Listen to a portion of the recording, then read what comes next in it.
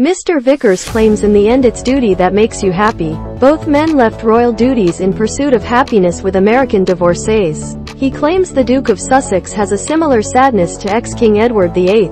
Prince Harry has looked thoroughly miserable since Meg Megxit, Hugo Vicker says. A royal biographer claims Prince Harry has looked as miserable as Edward VIII after stepping down from royal duties alongside his wife, Meghan Markle. Hugo Vickers, who has penned books about the Duke of Kent and Queen Elizabeth the Queen Mother, claims both Harry and Edward VIII seem to radiate sadness after cutting ties with the royal family. The Duke and Duchess of Sussex resigned from their royal duties in 2020 in an alleged attempt to avoid media scrutiny and the pressures associated with being working royals. Similarly, the Duke of Windsor, who had previously been King of England, abdicated the throne in 1936 in order to marry American divorcee Wallis Simpson a union that was opposed by the UK government. Although Edward VIII never admitted regret about his abdication, Mr. Vickers claims he had never seen anyone with such sad eyes as the former monarch.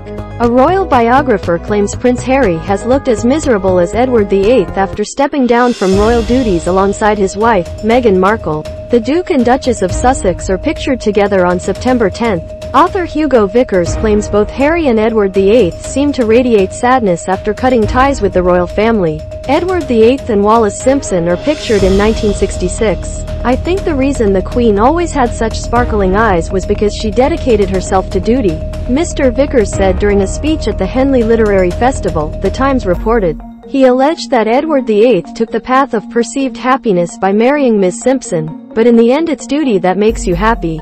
If you woke him up at 4 a.m. and asked if he had any regrets he would have said no. But if you want to know what he really thought, look at his eyes, the author said. Mr. Vickers argued that Prince Harry has also appeared unhappy after giving up his life as a working royal. As for the Duke of Sussex, who knows what's going to happen to him? I think he looks thoroughly miserable, he stated. The biographer also addressed new King Charles III's vision for a slimmed-down monarchy, alleging it is risky for the royal family. I don't know how you can have a slimmed-down monarchy because people do want to see them, he explained. The Queen and Prince Philip had about 2,000 organizations between them. You've lost Prince Andrew and Prince Harry. Mr. Vickers alleged that Edward VIII took the path of perceived happiness by marrying Miss Simpson, but in the end it's duty that makes you happy. Edward VIII is pictured giving his abdication broadcast to the nation in December 1936.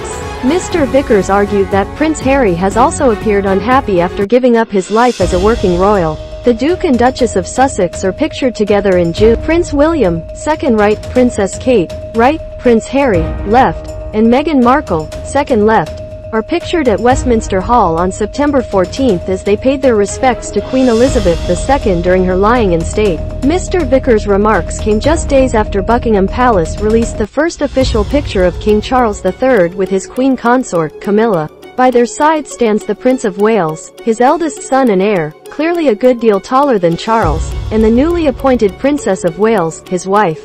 The photograph is brimming with symbolism of course. The new sovereign is pictured with his son and heir, while looming behind them is a glowering portrait of King George III, the longest reigning male monarch in British history.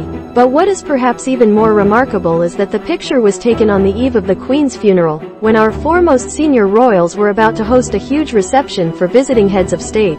The unspoken elephant in the room is the absence of the King's younger son, Harry.